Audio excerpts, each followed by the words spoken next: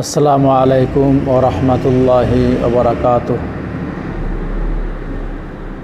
আলহামদুলিল্লাহ ওয়াহদা والصلاة والسلام على من لا نبي بعده أعوذ بالله من الشيطان الرجيم بسم الله الرحمن الرحيم إن المبذرين كانوا إخوان الشياطين وقال تعالى إذ قال لأبيه وقومه ما هذه التماثيل التي أنتم لها عاكفون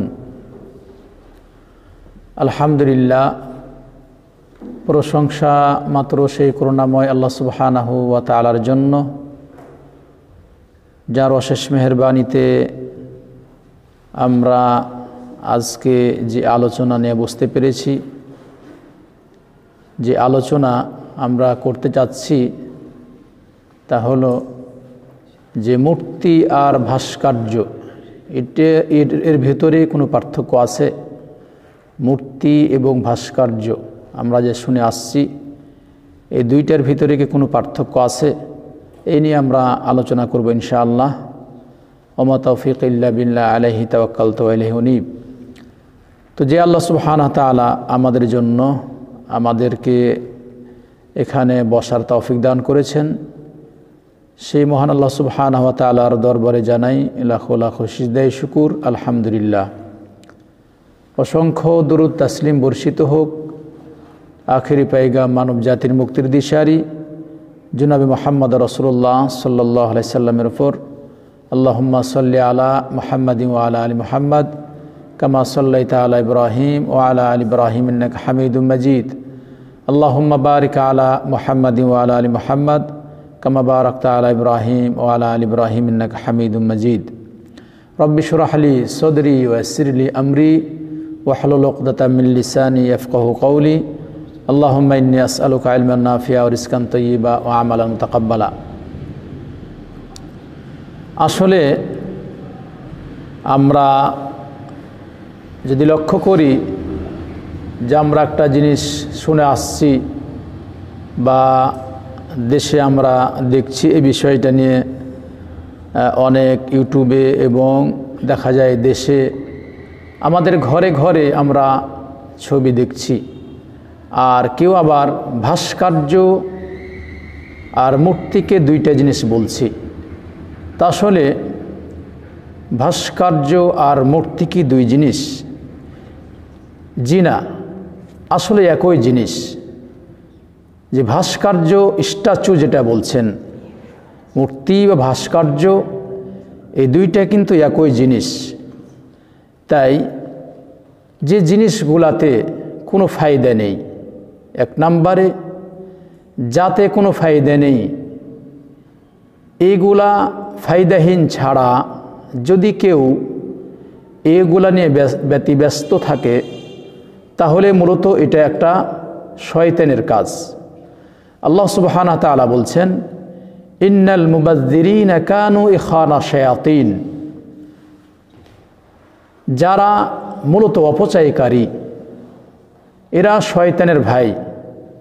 আমরা জানি যে আমাদের দেশ চালানোর দায়িত্ব যাদের ঘাড়ে রয়েছে, যিনারা দেশ চালাচ্ছেন, প্রথমে আল্লাহকে ভয় করার জন্য আপনাদের বলব কারণ জনগণের দায়িত্ব কেউ যদি নিয়ে নেই আর জনগণের দায়িত্বে নেওয়ার পরে, দায়িত্ব নেওয়ার পরে তিনি যদি সেই দায়িত্ব ঠিকভাবে আদায় না করেন, তাহলে কিন্তু কিয়ামতের দিন আল্লাহ সুবাহানা তালা তাকে ধরবেন।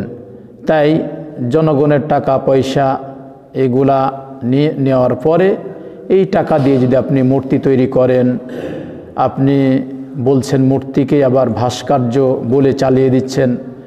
আল্লাহকে ভয় করুন। এটা মূলত অপচয়কারী, অপচয়কারীকে যে আল্লাহ সুবাহানা তালা শয়তানের ভাই বলে তিনি আখ্যায়িত করলেন।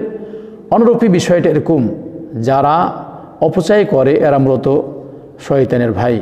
আল্লাহ রসুল সাল্লাহ সাল্লাম বলছেন, হুসন ইসলামিল মার ই তার কুহু তার কুহুমালায় আনি যে উত্তম ইসলাম হলো, উত্তম ইসলাম হলো যে বিষয়টি, যে যেগুলা কাজে কোনো ফায়দা নেই, যে সমস্ত কাজে কোনো ফায়দা নেই, এ কাজগুলা ছেড়ে দেওয়া। যে সমস্ত কাজে কোনো ফায়দা নেই, এই সমস্ত কাজগুলা, বাজে কাজগুলা যাতে কোনো ফায়দা নেই, আপনার নিজেরও কোনো ফায়দা নেই, জাতিরও কোনো ফায়দা নেই ফায়দা নেই যার মূর্তি তৈরি করছেন, যিনার নামে ভাস, ভাস্কর্য তৈরি করছেন, ইনারও কোনো ফায়দা নেই। বরং পরকালে এই জন্য শাস্তি বহন করতে হবে শাস্তি পেতে হবে যিনি তৈরি করছেন, মূর্তি তৈরি করছেন, ইনাকেও পরকালে শাস্তি ভোগ করতে হবেন যার জন্য আপনি করছেন, ইনাকেও এর জন্য শাস্তি ভোগ করতে হবে। এই জন্য ভাস্কর্য তৈরি করে, মূর্তি তৈরি করে পরকালীন জীবনে শাস্তির বোঝা নিজের গায়ে চাপিয়ে নিয়েন না। নচেত পরকাল হারিয়ে যাবে, পরকালে জ্বলন্ত আগুনে পুড়তে হবে। তাই এমর আল্লাহ সুবহানা তাআলা বলছেন, ইদ কাল আলী আবিহি কৌমিহি মা হাদিহি তামাসিলুল্লাতি আনতুম লাহা আকিফুন। ইব্রাহিম আলাই সালাতাম তার পিতাকে এবং তার সম্প্রদায়কে তিনি বলতে চাইলেন, এই যে মূর্তি, আপনার ভাস্কর্য বলছেন তামাসিল, এই যে মূর্তি মূর্তি নিয়ে যারা ব্যস্ত আছে, মূর্তিকে অন্তরে গেঁথে নিয়েছেন, মূর্তিকে, ভাস্কর্যকে অন্তরে গেঁথে নিয়ে বসে আছেন, যে মনে করছেন কত কী বা আপনি করে ফেলছেন, নিশ্চিত জেনে রাখেন যে এইগুলা অপচয় করছেন এবং এই মানুষের মূর্তি তৈরি করে আল্লাহর সাথে আপনি নিজেকে পাল্লা দিয়েছেন আল্লাহ সুবহানা তালা এই জন্য পরকালে আপনার জন্য শাস্তি রয়েছে। এ মর্মে আবু হরাইরা বলছেন যে আল্লাহ রসুল সাল্লাহ সাল্লামকে আমি বলতে শুনেছি, তিনি বলেন যে আল্লাহ তালা বলেন যে ওই ব্যক্তির থেকে আর বড় জালেম কে হতে পারে? যে ব্যক্তি আমি সৃষ্টি জীবকে যেভাবে সৃষ্টি করেছি অনুরূপী সৃষ্টি জীব সে তৈরি করতে তৈরি করার জন্য চেষ্টা করে। মানে আমি মানুষ সৃষ্টি করেছি, আমি জীবজন্তু যেগুলো সৃষ্টি করেছি, এই মানুষের মতো বা এই জীবজন্তুর মতো আমি যাদের সৃষ্টি করেছি, এদের মতো সৃষ্টি করতে যারা চাই, এর থেকে আর জালেম, বড় জালেম কেউ হতে পারে। তাই আল্লাহ রসুল সাল্লাহ সাল্লাম এরপরে বলছেন, আল্লাহ তালাই বলছেন যে তারা কি একটি সরিষার দানা সৃষ্টি করতে পারবে? তারা কি একটি গম তৈরি করতে পারবে? তারা কি একটি জব তৈরি করতে পারবে? কোশ্চিন কালেও তারা পারবে না। তাই আল্লাহ সুবহান তালার তালা এভাবে বলছেন হাদিসে কুৎসিতে যে ব্যক্তি, যে বা যারা, যে বা যারা মূর্তি নিয়ে ব্যস্ত আছেন, মূর্তি নিয়ে ব্যস্ত আছেন, মূর্তি তৈরি করছেন, ভাস্কর্য তৈরি করছেন, একই কথা মূর্তি বলেন আর ভাস্কর্য বলেন, একই কথা, যারা এই নিয়ে ব্যস্ত আছেন, এদেরকেই আল্লাহ সুবহানা তালা বলছেন, যারা আমার সৃষ্টির সাথে, আমি যেইভাবে সৃষ্টি করেছি, এই সৃষ্টির মতো করে আবার জীবজন্তু এবং কাউকে সৃষ্টি করতে চাই, মূর্তি তৈরি করতে চাই, এর থেকে আর বড় জালেম কেউ হতে পারে না। তাই তিনি বলছেন, এরা কি পারবে একটি সরিষার দানা সৃষ্টি করতে? একটি জব বা গম সৃষ্টি করতে না কোশ্চিন কালেও পারবে না। তাই আল্লাহ রসুল সাল্লাহ সাল্লাম যে বললেন, আল্লাহ তালা এইভাবে বলছেন, তাই যারা মূর্তি তৈরি করছেন, যা এগুলা করছেন, আল্লাহকে ভয় করেন। তাই তিনি বলছেন যে, এই যারা মূর্তি তৈরি করছেন, এর থেকে আর বড় জালেম দুনিয়া তার কেউ নেই। ইমাম বুখারি, মুসলিম উভয় গ্রন্থে হাদিসটি নিয়েছেন ইমাম বুখারি হাদিস নিয়েছেন সাত হাজার পাঁচশত উনষাট নম্বর হাদিস। তাই আমরা আল্লাহকে ভয় করি। যারা মূর্তি নিয়ে ব্যস্ত আছেন, আল্লাহকে ভয় করেন। নচেত কিয়ামতের দিন আল্লাহ সুবহানা তালা আপনাকে পাকড়াও করবেন। দেখেন, যারা মূলত মূর্তি নিয়ে ব্যস্ত আছেন, ছবি নিয়ে ব্যস্ত আছেন, এরা কিন্তু আল্লাহ সুবহানা তালা রহমত থেকে বঞ্চিত। আল্লাহ সুবহানা তালা রহমত থেকে বঞ্চিত। আবু তলহা তিনি বলছেন আল্লাহ রসুল সাল্লাহ সাল্লাম বলেন লা তদখুলুল মেলা ইকাতু বেইতান ফিহি ক্যালবুন ওলা তাসাবির। আল্লাহ রসুল সাল্লাহ বলছেন, ওই বাড়িতে ফেরেস্তা প্রবেশ করে না। যে বাড়িতে কুকুরের ছবি রয়েছে এবং প্রাণের ছবি রয়েছে, এই বাড়িতে ফেরেস্তা প্রবেশ করেন না। ইমাম বুখারি, মুসলিম উভয় গ্রন্থে হাদিসটি এসেছে। হাদিস নাম্বার ইমাম বুখারি বলছেন, হাদিস নাম্বার ইমাম বুখারির পাঁচ হাজার নয়শত উনপঞ্চাশ নাম্বার হাদিস। তাই যদি কোনো বাড়িতে ফেরেশতা প্রবেশ না করে, তাহলে আপনার বাড়িতে কিন্তু রহমত থাকবে না। আপনার বাড়িতে কল্যাণ থাকবে না। আপনার বাড়িতে বরকত থাকবে না। তাই আপনার বাড়িতে যদি এই ছবি, মূর্তি থাকে, আপনার এই ঘরে যে আছে বাড়িতে যেমন ফেরেশতারা প্রবেশ করবে না, আপনার যে ঘরে যেখানে মূর্তি, ছবি আছে এই ঘরে আপনার সালাত কবুল হবে না। সালাত আদায় করলেও আল্লাহর কাছে কবুল হবে না। তাই এখন দেখা যাচ্ছে যারা এই নিয়ে ব্যতিব্যস্ত আছেন, আল্লাহকে ভয় করেন, প্রত্যেকটা জায়গাতে, প্রত্যেকটা সেক্টরে, এমনকি মাদ্রাসাগুলোতে প্রত্যেকটা অফিসে ছবি টাঙ্গানো হয়েছে। আল্লাহকে ভয় করেন। আচ্ছা এই কাজ করার জন্য কি দেশের যারা দেশ চালাচ্ছেন, আপনাদের এই কাজ করার জন্য দায়িত্ব দেওয়া হয়েছে? একবার আল্লাহর ভয় হয় না যে আপনি ভালো কাজ করার চেষ্টা করেন, কত গরিব, মিসকিন খাবার পায় না। কত দরিদ্র মানুষ রয়েছে, তারা খাবার পায় না। কত অসহায় মানুষ রয়েছে তাদের চিকিৎসার অভাবে তারা কতই না কষ্ট পাচ্ছে। এই দরিদ্র মানুষগুলোকে, হত দরিদ্র মানুষ রয়েছে, তারা এক সন্ধ্যায় ঠিকভাবে খাবার পায় না। তাদের কাপড় জুটে না, তাদের শীতকালে কাপড় জুটে না, তাদের বাড়ি জুটে না। এই সমস্ত কত মানুষ সেই ট্রেন স্টেশনে, কত মানুষ এমনি পথে শায়িত রয়েছে। এই মানুষগুলার খোঁজ খবর আপনি রাখেন তো? আপনি যে এইভাবে ছবি তৈরি করে মানুষের টাকা নষ্ট করছেন, আল্লাহর কাছে জবাবদাহি কোর্ট আদায়, আল্লাহর কাছে জবাবদাহি দিতেই হবে আয়সা রদিল্লাহ তাল আনহা, তিনি বলছেন যে আল্লাহ রসুল সাল্লাহ সাল্লাম বলছেন, যে ব্যক্তিকে আল্লাহ সুবাহানা তালা বেশি যার হিসাব নিকাশ নেবেন, এই ব্যক্তি ধ্বংস অনিবার্য। তাই যারা দেশ চালাচ্ছেন, অত্যন্ত ভয়াবহ জীবন তাদের। কারণ টাকা পয়সা কোন পথে ব্যয় করছেন আপনি? প্রত্যেকটা হিসাব নিকাশ আল্লাহ সুবাহতালা আপনার কাছে নেবেন। তাই যারা মূর্তি নিয়ে ব্যস্ত আছেন, তারা জেনে রাখেন যে মূর্তি তৈরি করে ঘরে রাখছেন, আবার আপনার ঘরে রাখছেন, আপনার প্রত্যেকটা জায়গাতে, সেক্টরে এই মূর্তি আপনি পৌঁছে দিয়েছেন। এই ঘরগুলাতে আল্লাহর আল্লাহর ফেরেস্তা প্রবেশ করবে না এবং রহমত সেখানে নাজিল হবে না।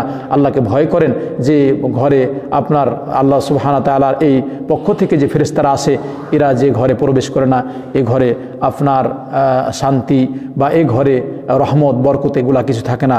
তাই আল্লাহকে আমাদের ভয় করা উচিত এবং যাতে করে আমরা এগুলা থেকে দূরে থাকি। এরপরে দেখেন, আল্লাহ রসুল সাল্লাহ সাল্লাম আলী রদিয়াল্লাহ তালা আনহকে তিনি বলছেন যে, আমরা যে ভাস্কর্য বলছেন অথবা মূর্তি বলছেন এই হাদিসে সবগুলাকে এগুলাকে ভেঙ্গে চুরমার করার জন্য বলছেন। আলী রদিয়াল্লাহ তালা আনহকে আল্লাহ রসুল সাল্লাহ সাল্লাম বলছেন, যতগুলা মূর্তি পাবে, মূর্তি ভাস্কর্য যা পাবে, এগুলা সবগুলাকে ভেঙ্গে চুরমার করে দাও। আর যেগুলা উঁচু কবর রয়েছে আল্লাহ রসুল সাল্লা সাল্লাম বলছেন, ওয়ালা কবরান মুশাররিফান মুশাররিফান ইল্লা সাউয়াইতাহু যতগুলা উঁচু কবর পাবে, সেগুলা কবরকে আপনার সমান করতে বলছেন ইমাম মুসলিম রহেমাল্লাহ হাদিসটি নিয়েছেন নয়শত উনসত্তর নম্বর হাদিস। ইমাম মুসলিম হাদিসটা নিয়েছেন যে যতগুলা মূর্তি, ছবি, মূর্তি যা আপনি বলেন, ছবি, মূর্তি যা বলেন, মূর্তি বলেন, ভাস্কর্য বলেন, যাই বলেন, সবগুলাকে ভেঙ্গে চুরমার করার জন্য বলা হয়েছে। ভেঙ্গে চুরমার করার জন্য বলা হয়েছে। আর যেগুলা কবর, উঁচু কবর রয়েছে, এই কবরগুলাকে আল্লাহ রসুল সাল্লাহ সাল্লাম বলছেন যে আলীকে বললেন, এইগুলাকে সমান করে দাও। আপনার বাংলাদেশে যে সমস্ত ভাইয়েরা কবরকে পাকা করছেন কবরকে পাকা করছেন এবং সেখানে যেগুলা আপনার আল্লাহকে বাদ দিয়ে ইবাদতবন্দি করছেন, কেউ সিজদা করছেন, কেউ নজর মানছেন, কেউ টাকা দিচ্ছেন, কেউ এই মৃত্যু ব্যক্তিকে ভয় করছেন, আল্লাহকে ভয় করেন। আল্লাহকে ভয় করেন, কবর এইভাবে উঁচু করে রাখেন না। আল্লাহকে ভয় করা উচিত। এই নচেত পরকাল আপনার জন্য হারা, পরকাল আপনার হারাবে। জাবের বিন আবদুল্লাহ তিনি বলছেন, যে আল্লাহ রসুল সাল্লা সাল্লাম বলেন, তিনি বলছেন যে কবর কবর পাকা করা কবর পাকা করতে তিনি নিষেধ করছেন, কবরের উপরে বস- বসতে নিষেধ করছেন এবং এখানে কোনো বাড়ি, ঘর বা কিছু তৈরি করতে নিষেধ করছেন। এই হাদিসটি মুসলিম রহমাল্লা নিয়েছেন নয় শত সত্তর নম্বর হাদিস। তাই আপনার এই কব এই হাদিসগুলো থেকে আমরা স্পষ্ট বুঝতে পারি যে ছবি বলেন মূর্তি বলেন, ভাস্কর্য বলেন, এগুলা সবগুলাকে ভেঙ্গে চুরমার করতে হবে। ভাস্কর্য, মূর্তি, এগুলা চলবে না। বাংলাদেশের জমিনে যে কোনো জায়গাতে দেখা যাচ্ছে যেখানে চার মোড় অথবা এরকম সেগুলাতে ভাস্কর্য তৈরি করছেন, যারা তৈরি করছেন, জনগণের টাকা, পয়সা দিয়ে তৈরি করছেন। এগুলো আমাদেরই টাকা, আমাদের ট্যাক্সের টাকা। আমরা মুসলমান জাতি, আপনি এগুলা মুসলমান জাতিকে এগুলা তাদের আপনি কাঁধে চেপে দিচ্ছেন। আল্লাহকে ভয় করুন। নচেত কেউ বাঁচবে না, কেউ বাঁচবে না। যারা যেখান থেকে হোক আপনার এই কথা আপনাকে বলতে হবে, কোরআন হাদিসের কথা আপনাকে বলতে হবে। নচেত কিয়ামতি দিন আল্লাহ সুবাহ তাআলা আপনাকে ছাড়বেন না। এ মর্মে ইবনে আমাসুদ তিনি বলছেন, যে আল্লাহ রসুল সাল্লাহ সাল্লামকে বলতে শুনেছি, তিনি বলছেন আসাদুন্নাস নাসি আসাদুন্নাস আজাবান ইন্দাল্লাহ আল যে আসাদুন্নাস যে সব থেকে কিয়ামতের দিন মানুষের সব থেকে কঠিন শাস্তি দেওয়া হবে, কিয়ামতের দিন মানুষকে কঠিন শাস্তি দেওয়া হবে। যে ব্যক্তিরা যে ব্যক্তিরা মানুষের ছবি, মূর্তি, ভাস্কর্য এগুলো তৈরি করে, আল্লাহ সুবাহানা তালা এদেরকে অত্যন্ত কঠিন, ভয়াবহ শাস্তি দিবেন। ইমাম বুখারি মুসলিম উভয় গ্রন্থে হাদিসটি ইমাম মুসলিম, ইমাম বুখারি হাদিস নিয়েছেন, ইমাম মুসলিমও তার গ্রন্থে হাদিসটি নিচ্ছে জি, দেখেন যে, যেই ঘরে ছবি বলেন মূর্তি বলেন, ভাস্কর্য বলেন, যে ঘরে থাকে সেই ঘরে দেখেন ফেরিস্তা প্রবেশ করে না, এ ঘরে দেখেন। ইবনে আব্বাস তিনি বলছেন, যে আল্লাহ রসুল সাল্লাহ আলাইসাল্লামকে বলতে শুনেছি। তিনি বলছেন যে যারা ছবি তৈরি করে, এদেরকে আল্লাহ সুবাহানা প্রত্যেক ছবি তৈরিকারী, এদেরকে আল্লাহ সুবাহ তালা জাহান নামে নিক্ষেপ করবেন। যারা প্রত্যেক একুল কুল্লু মোসভিরিন ফিন্নার, প্রত্যেক ছবি প্রস্তুতকারী ভাস্কর্য প্রস্তুতকারী এবং মূর্তি তৈরিকারী এরা হলো জাহান নামে প্রবেশ করবে, প্রত্যেকে জাহান নামে প্রবেশ করবে। এরপরে আল্লাহ রসুল সাল্লা সাল্লাম বলছেন ইবনে আব্বাস, তিনি বলছেন যে, ফাইন কুন্তা লাবুদ্দা ফাইলান ফাসনা সাজারা ওমাল ওমালা রু হাফিহি যদি তোমাদের কোনো ছবি তৈরি করতে হয়, তাহলে গাছগাছালির ছবি তৈরি করো, যার ভিতরে কোনো আত্মা নেই, যার ভিতরে কোনো আত্মা নেই। তাই যারা আপনার ছবি তৈরি করছেন এমনি বিনা প্রয়োজনে, এবং আপনি মূর্তি তৈরি করছেন, ভাস্কর্য তৈরি করছেন, এদের জন্য জাহান্নামের শাস্তি অপেক্ষা করছে। হাদিসটি ইমাম বুখারি মুসলিম উভয় গ্রন্থে হাদিসটি এসেছে। জি, এ মর্মে যে বাড়িতে আপনি যেখানে ছবি বলেন, বা মূর্তি বলেন, বা ভাস্কর্য বলেন, যদি এগুলা থাকে, তাহলে এই বাড়িতে ফেরেস্তা প্রবেশ করবে না। আবু হুরাইরা বলছেন আল্লাহ রসুল সাল্লা সাল্লাম বলছেন যে জিব্রিল, জিবরিল আমিন, জিবরিল আলাই সাল্লাম তিনি এক রাত্রে আসলেন, তো তিনি আমার বাড়িতে প্রবেশ করলেন না। আল্লাহ রসুল সাল্লাহ সাল্লাম বলছেন যে, বাড়িতে প্রবেশ করলেন না। কেন? যে এই বাড়িতে অনেকগুলা ছবি ছিল। অনেকগুলা ছবি ছিল বাড়িতে, তাই তিনি প্রবেশ করলেন না। আর তিনি বললেন যে একটা পর্দা, যে পর্দা টাঙ্গা ছিল এই পর্দাতে অনেকগুলা ছবি ছিল জীবজন্তুর ছবি ছিল, যাদের প্রাণ ছিল, এদের ছবি ছিল। তার এই জন্য আর একটা ছিল, যে বাড়িতে আপনার কুকুরের বাচ্চা ছিল, কুকুর ছিল। তাই আল্লাহ রসুল সাল্লাহ সাল্লাম এই বাড়িতে প্রবেশ করার নাই, করেন নাই। আল্লাহ রসুল সাল্লাহ সাল্লামকে তারপরে জিবিল আমিন বললেন যে বাড়ি থেকে কুকুরের ছবি এবং যেগুলা ছবি রয়েছে, এই ছবির মাথাগুলা কাটার জন্য বললেন এবং কুকুরকে বাড়ি থেকে বের করার জন্য বললেন, বের করার জন্য বললেন, আল্লাহ রসুল সাল্লাহ সাল্লাম কুকুরকে বাড়ি থেকে বের করে দিলেন এবং যে কাপড়ে যে কাপড়টা ছিল এটাকে দুই খণ্ডিত এবং তিনি বললেন বাড়ি তার যেগুলো ছবি এগুলা কেটে দেওয়ার পরে যাতে গাছগাছালি যে রয়েছে, গাছ যে- রয়েছে, এগুলার মতো যাতে হয়ে যায়। তাই যে বিষয়টি বা হাদিসটি ইমাম আবু দাউদ এসছেন ইমাম তিরমিজি রহমুল্লাহ নিয়ে এসছেন দুই হাজার নয়শত সত্তর নম্বর হাদিস, হাদিসটি সহি হাদিস। তাই আমরা এখান থেকে বুঝতে পারি যে যারা আমরা মূর্তি, ছবি, ভাস্কর্য এগুলা যারা করছেন, আল্লাহকে ভয় করেন, এগুলা আপনার কোনো উজুর নেই। এগুলা মানুষের টাকা নিয়ে, মানুষের টাকা যেমন, মানুষের টাকা অপচয় করছেন, পরকালে আল্লাহ সুবাহ তাআলা আপনাকে ধরবেন যখন যেদিন ধরবেন, পাকড়াও করবেন, সেদিন কিন্তু কোনো পথ থাকবে না। সেদিন কোথাও কোনো পথ থাকবে না, আপনার কোনো পথ থাকবে না। যারা আপনাকে সহযোগিতা করছে, তাদের কোনো পথ থাকবে না। তাই এই মর্মে আরও হাদিস রয়েছে। আবু হুরাইরা বলছেন আল্লাহ রসুল সাল্লাহ সাল্লাম বলছেন যে, জাহান্নামে কিয়ামতের দিন জাহান্নাম থেকে একটি ঘাড় গর্দান বের হবে। গর্দানকে দেওয়া হবে জাহান্নাম থেকে গর্দান বের হবে। কিয়ামতের দিন জাহান্নাম থেকে গর্দান বের হবে। তার দুইটা চোখ থাকবে, যে চোখ দ্বারা সে দেখবে। তার দুইটা কান থাকবে, কান দ্বারা সে শ্রবণ করবে।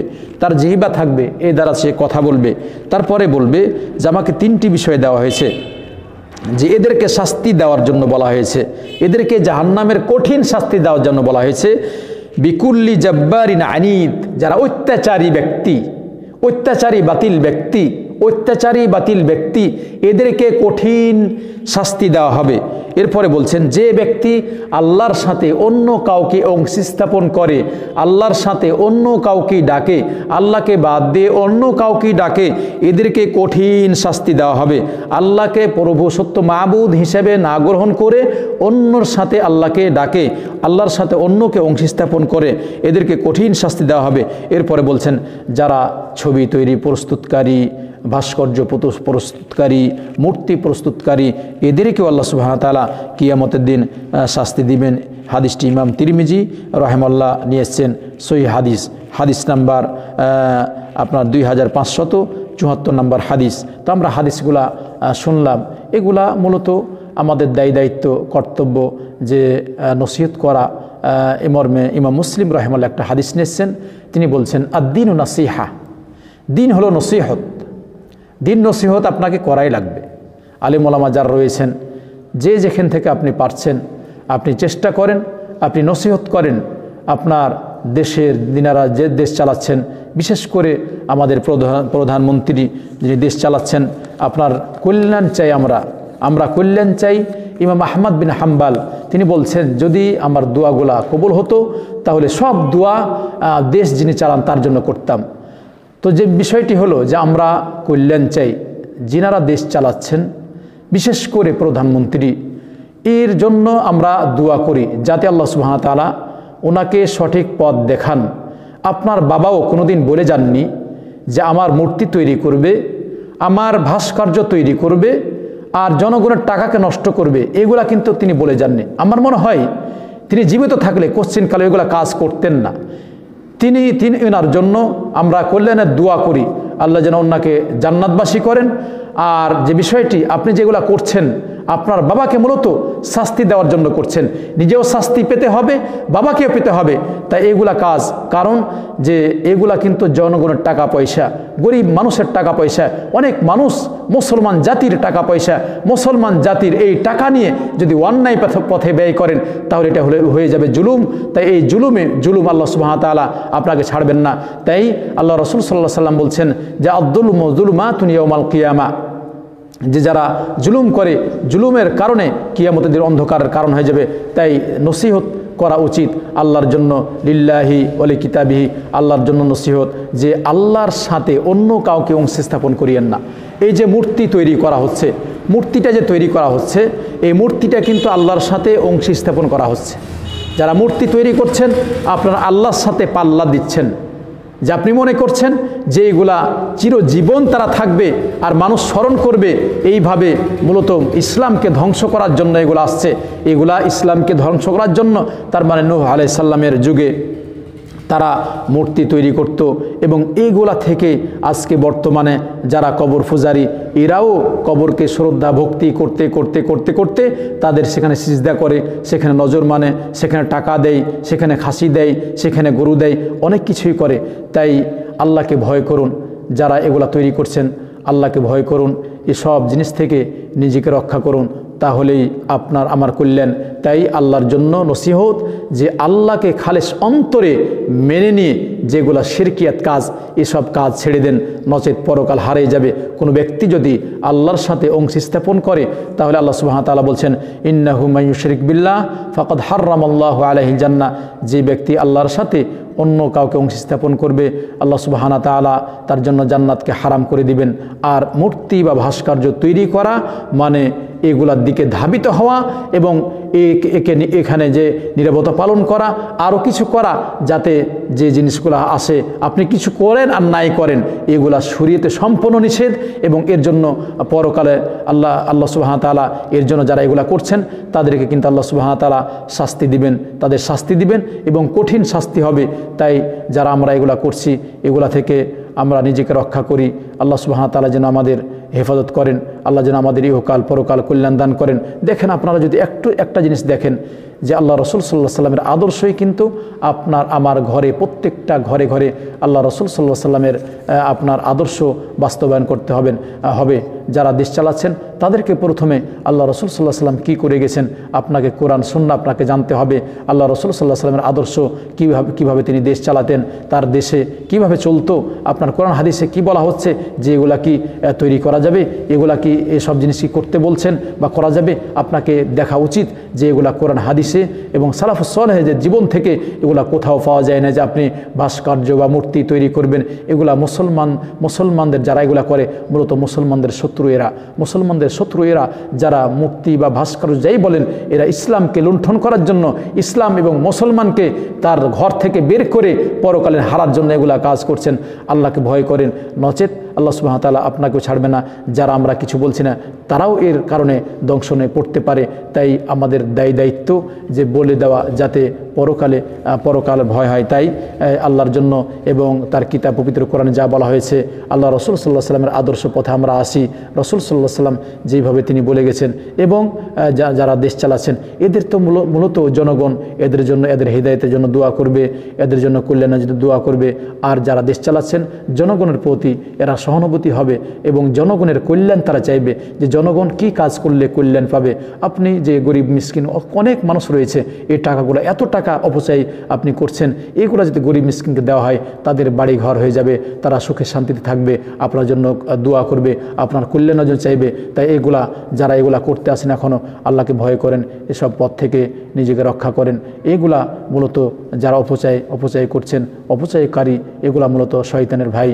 কারণ আল্লাহ বলছেন ইনাল বদিরিনা কারণ খানা শয়াতিন ও কানা শয়তনের রব্বে কাফোরা, যে অপচয়কারীরা শয়তানের ভাই আর একটা যে বিষয়টা বলছিলাম, যে নবী রাসুল সবাই কিন্তু মূর্তি ভেঙেছে।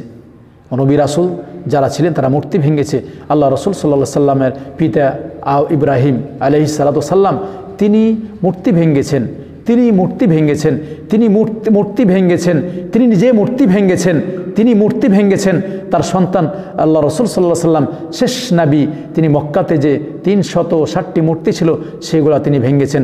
তাই সারা বিশ্বে যে যেখান থেকে শুনছেন, এই মূর্তি মূলত এগুলা ইসলামের এই যারা এগুলা করবে, এগুলা মূলত ইসলামের এরা শত্রু এবং ইসলামের শত্রু এবং ইসলামকে ধ্বংস করার একটা মাধ্যম। আর যারা কবর পূজারী, যারা কবরকে নিয়ে ব্যস্ত আছেন, আল্লাহকে ভয় করেন নচত নচেত পরকাল আপনার হারাই যাবে, পরকাল আপনি শান্তি পাবেন না। যা আমল করেছেন, সবগুলা বরবাদ হয়ে যাবে। মূর্তি তৈরি করা, ভাস্কর্য তৈরি করা, কবর পূজা করা, সবগুলাতে এইগুলা করলে আপনার ইমান আমল নষ্ট হয়ে যাবে। তাই আল্লাহ রসুল সাল্লাহ সাল্লামকে উদ্দেশ্য করে আল্লাহ সুবাহ তালা বলছেন, লাইনা সরক্তা লাই আহবাতন্না আমালুকা ওলা তা কুনান্না মিনাল খাসরিন। হেনবি তুমি যদি আল্লাহর সাথে অন্য কাউকে অংশী স্থাপন করো, তাহলে তোমার আমলগুলা বরবাদ হয়ে যাবে এবং তুমি ক্ষতিগ্রস্ত ভিতরে হয়ে যাবে। আল্লাহ সুবাহ তালা যেন আমাদের ইহকাল পরকাল কল্যাণ দান করেন। আমরা যা শুনলাম, সে অনুযায়ী আমল করতে পারি। আল্লাহ যেন আমাদেরকে মূর্তি ভাস্কর্য, কবর পূজা এগুলা থেকে আল্লাহ যেন আমাদের রক্ষা করেন। আল্লাহ যেন আমাদের ইমানকে রক্ষা করেন। ইয়া মুকাল্লিব আল কুলুব, সাব্বিত কালবি আলা দিনিক। ইয়া মুসরিফ আল কুলুব শররিফ কুলুবন আলা তো আতিক হে আল্লাহ, আমাদের তুমি মূর্তি পূজা, কবর পূজা, ভাস্কর্য যা আছে এগুলা থেকে তুমি আমাদের রক্ষা করো। আল্লাহ আমাদের ইমানকে মজবুত করো। ওখরে দাউল আলহামদুলিল্লাহ রবিল আলমিন। সুবাহানাক আল্লাহ হামদিকা আসাদুল্লাহ ইলাহ তাস্তাক ফিরুকা ওয়াতুবিলাইক